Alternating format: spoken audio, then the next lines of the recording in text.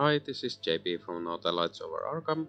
Welcome to another Hero Pack Focus, and this time we are looking into the cards that come in the Gambit uh, Marvel Champions Hero Pack. So let's get started. So, uh, Gambit comes with a pre-built Justice deck, and let's start by going through the signature cards that come with Gambit. So, first off, we have Remy LeBeau, which is the alter ego side of Gambit. Uh, Remy has uh, 3 recovery, mutant and thief traded, thief extraordinaire action, thwart, exhaust Remy uh, LeBeau, and look at the top 2 cards of the encounter deck. Discard one of those cards and remove threat from a scheme equal to the number of boost icons on that card.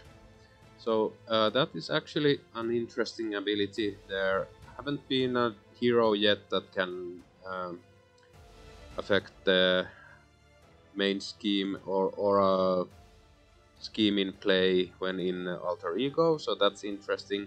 So let's next and the hand size is 6 and hit points is 9 so let's look at the hero side next. Uh, Gambit has a 1 thwart, 2 attack and defense of 3 uh, Thief and X-Men traded. Uh, charge the card action Place one charged counter here, limit once per round. Throw that card, interrupt when you play an attack event, remove up to 3 charged counters from here. That event deals plus 1 damage for each counter removed. Hand size is 5 and hit points is 9. So I bet that Gambit is uh, focused on getting those charges, so he is charging up the uh, kinetic energy on those cards and throwing them uh, and the more charges you have, the more effect you get. So let's start looking at the other cards that come in the signature set. First off, we have the signature ally Rogue, uh, 4 cost uh, ally with 2 thwart and 2 attack, uh, 3 hit points, aerial and X-Men traded. Reduce the cost to play Rogue by 1 for each charge counter on your identity and uh, Rogue comes into play with toughness and can be committed as a wild resource. So um, comboing really well with the charges, so if you get your charges built up, uh, you only pay one for Rogue, so that is a really good deal. Next up we have uh, the Thieves Guild. It is a one cost support, guild traded alter ego response after you resolve your thief extraordinary ability exhaust the thief's guild remove one threat from a scheme. If this uh, removes the last threat from that scheme draw one card and this can be committed as a mental resource. Again boosting the alter ego action so maybe uh, Gambit really wants to be in alter ego more than other uh, heroes. Uh, next up we have a one cost upgrade Gambit uh, staff and uh, it is an item and weapon traded upgrade. Hero interrupt when an enemy attacks exhaust Gambit staff deal 1 damage to that enemy and this can be committed as a mental resource. Okay, well pretty straightforward. Next we have Gambit's Guild Armor. It is a one cost upgrade, armor and item traded. Hero responds after Gambit defends against an attack take and takes no damage, exhaust Gambit's guild armor, ready Gambit. And this can be committed as a mental resource. Okay, well, uh, Gambit has a defense of 3, so uh, you could defend against a low hitting minion or a minion that it doesn't hit for more than 3, so you get to ready after defending, and that's that's a good good ability. Then we have charged card and there are three copies of this event in the deck. Charged card is a 2 cost event, attack and superpower traded. Hero action attack, deal 4 damage to an enemy. For this attack, if Gambit throw the card ability, ability removes at least one counter. This attack gains range, 2 counters. This attack also gains piercing, 3 counters. This attack also gains overkill. So that's an interesting card. I have to see it in play before I can say if it's good or bad, and it can be committed as a physical resource. Then we have Royal Flush, and there are two copies of this event. Uh, Royal Flush is a 3 cost event, attack superpower traded, hero action attack, place 1 charge, counter on Gambit, deal 0 damage to an enemy, uh, deal 0 damage to an enemy, and deal 0 damage to an enemy. So at first this seems like a poor event, but if you remove 3 counters from Gambit while playing this, uh, you will be dealing 9 damage in total and you can split it, uh, split it between different targets or just pile it on one um, target and that can be committed as an energy resource. Next up we have Natural Agility, which is a zero cost event. There are two copies of this. Uh, Natural Agility is a defense and superpower traded event. Uh, zero cost hero interrupt defense. When you defend against an attack, place one charge counter on Gambit. For each charge counter, counter on Gambit, you get plus one defense for that attack. And this can be committed as an energy resource. So again, this combos really well if you want to defend with Gambit and have the Gambit's armor in place, so you get to ready Gambit after he defends if you don't take any damage. Uh, then we have uh, Cre uh, Creole Charmer. Uh, there are two copies of this event in the deck. Uh, so Creole Charmer is a two-cost event. Port traded alter ego action port, remove three threat from a scheme. If this removes the last threat from that scheme, confuse the villain. It can be committed as an energy resource. Okay, and lastly, in the signature cards we have a uh, resource card, which is a molecular molecular acceleration. There are two copies of this. Uh, Hero Interrupt, when you spend this card, place one charge counter on Gambit, and this can be committed either as or um, as an energy and uh, physical resource. So it counts as two resources and if you have a card that needs one of those resource types then this uh, satisfies either one of those. Okay, well those were the signature cards, so next up we'll look at the Justice cards and uh, basic cards that come in the pre-built deck. First up we have Bishop, uh, Bishop is a 3 cost ally with 2 thwart, 0 attack. Uh, the attack has 2 uh, consequential damages and uh, Bishop has the X-Men trait and 3 hit points. Response after an enemy attacks you, place 1 energy counter here. And uh, the attack has an asterisk which is uh, interrupt. When Bishop attacks, remove each energy counter from him. For each counter discarded this way, he gets plus 2 attack for this attack a maximum of 6 attack. And this can be committed as a energy resource. Next up we have Dazzler. The Dazzler is a 4 cost ally with 2 thwart and 2 attack. Uh, X-Men traded and 3 hit points. Response after Dazzler enters play, confuse an enemy. And this can be committed as a energy resource. So uh, I think that will combo pretty well with Gambit because Gambit has a really powerful ability on the alter ego side, so you could um, confuse the villain with this and go to alter ego and won't be um, in danger of getting traded out. Next we have operative skill. There are uh, three copies of this. So operative skill is a 2 cost upgrade, skill traded, uses 3 operative counters, max 1 per player. Interrupt when you thwart, remove 1 operative counter from here that thwart removes one additional threat. This can be committed as an energy resource. Okay. Uh, next we have a reprint of Stealth Strike with new art, so I won't go into much detail on this. Uh, this is an attack event which deals 4 damage to an enemy and if that enemy is defeated. Uh, you can also remove 2 threat from a scheme and that can be committed as a mental resource it costs 3, so usually uh, previously I haven't played this much because it's a bit overcosted for my liking.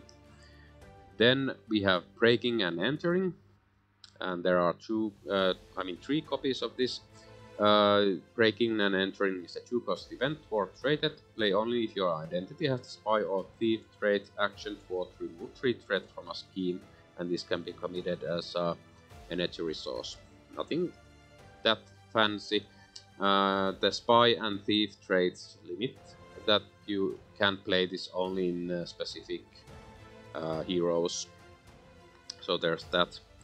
Uh, then we have a reprint of uh, Passion of Justice, two copies of this. So uh, it is a wild resource, and if you use it, you for a thwart event you get to remove one extra threat from a scheme.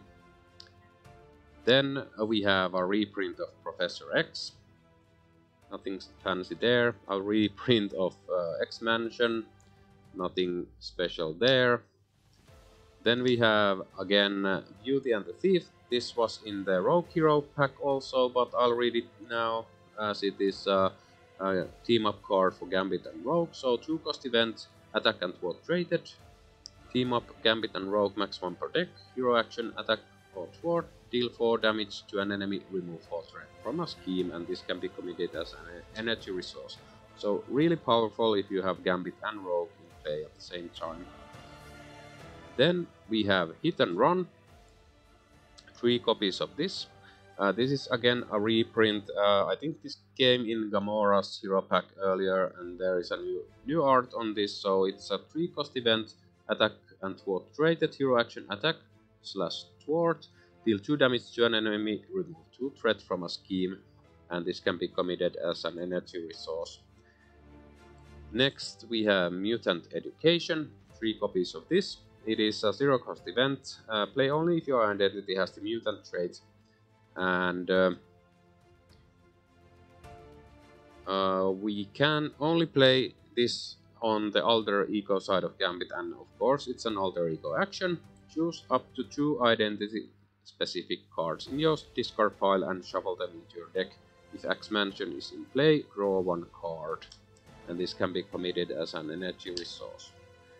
And lastly, in the pre-built deck, we have the uh, basic uh, resource cards, energy, genius, and strength.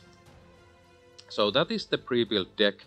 Uh, next, let's look at the uh, obligation and nemesis sets. Uh, so obligation for Gambit is guild business. Uh, give to Remy LeBeau player alter ego action, exhaust Remy LeBeau and spend our uh, energy resource, remove guild business from the game. And uh, when this is in play, you get an extra encounter card. So you really want to get rid of this, but as looking at the resource types in this pre-built deck, there are a lot of um, energy resources, so you should be able to get rid of this, but you of course have to also exhaust Remy LeBeau, so you can only get rid of this in Alter Ego. That's not that great, but it is what it is. Not the worst, uh, but not the weakest obligation. Uh, then we have the Gambit Nemesis set, which starts with Belladonna. Belladonna is a Minion with 2 scheme and 3 attack with an asterisk, assassin and elite traded, 5 hit points, quickstrike and toughness, uh, force response after Belladonna attacks and defeats and character plays 2 threat on the main scheme. And this has 3 boost icons, so pretty beefy and hard to get rid of uh, Nemesis enemy. Then we have uh, the Nemesis uh, side scheme, the Assassin's Guild, Force response after assassin minion attacks and defeats a character plays 2 threat here. And this has a acceleration icon and 3 boost icons and comes into play with 4 threats. So you really want to get rid of this as fast as possible because of the acceleration icon. Then we have Guild Assassin, which is a minion with 1 scheme and 2 attack with an asterisk, assassin traded 2 hit points, Quickstrike Force response after Guild Assassin attacks and defeats a character place one threat on main scheme. There are actually two copies of this and it has two boost icons. So a lot of minions for our Nemesis set. And lastly we have Assassination Attempt which is a treachery. When revealed each assassin minion attacks you even if you are in alter ego form. And if there are no assassin minions in play, search encounter deck and discard pile for an assassin minion and reveal it. And it has one boost icon. So pretty nasty Nemesis set my liking and especially in true solo. So uh, then uh, we have some uh, new uh, aspect cards for aggression. We have the War Room. There are of course three copies of this. So the War Room is a one cost support, location traded, max 1 per player, responds after an ally attacks and defeats a minion. Exhaust War Room, remove one threat from a scheme, and this can be committed as a mental resource. So a pretty cheap and good way for an aggression deck to remove threat, at least a bit.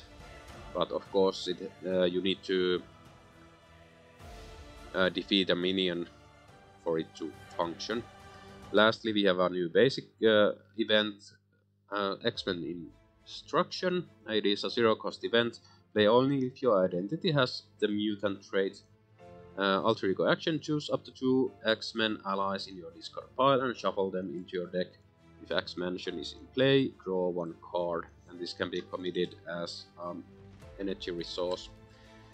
And that is all the player cards that come in this pack, but we also received a new uh, modular encounter set, which is the Exodus set, and it has the Exodus minion uh, with one, one scheme and one attack, uh, Acolyte, Elite, Psionic traded, 6 hit points, Retaliate 1, and Villainous. Uh, when revealed, search the encounter deck and discard pile for a Psionic Shield attachment and attach it to Exodus Shuffle. And uh, Exodus has 3 boost icons. So, a quite nasty minion. Then we have Herald of Avalon, uh, side scheme. When defeated, the player who defeated this scheme searches the encounter deck and discard pile for Exodus and reveals him and uh, shuffle and this has an extra encounter card symbol and comes into play with 6 threat and has 3 boost icons so you will see Exodus a lot if you use this modular set.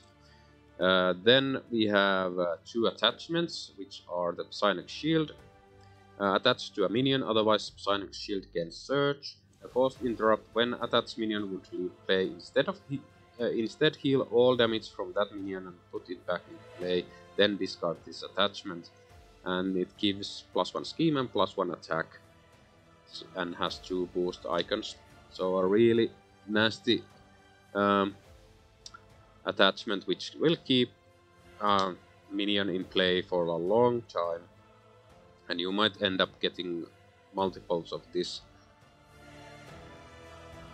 because it doesn't say that it can't have multiples. And lastly, we have Acolyte Frenzy. Uh, there are two copies of this in the set, and Acolyte Frenzy is a treachery. When revealed, each Acolyte minion engaged with you activates against you. If you are not engaged with an Acolyte minion, this card can search. It has a boost ability, you are stunned and confused, and it has the boost ability symbol. Okay, well, that was everything that comes in the Gambit Hero pack. So I'm really looking forward to getting Gambit into play. I will sleeve up the deck and try it out against some scenario from the Mutant Genesis box. Haven't decided which one yet, but I'm really looking forward to playing Gambit because Gambit is one of my all-time favorite X-Men, so hoping that Gambit functions really well in True Solo so I can play him more. But hope you guys found this um, Hero Pack Focus useful to make your decision if you want to get Gambit in your collection. Thanks for watching and until next time.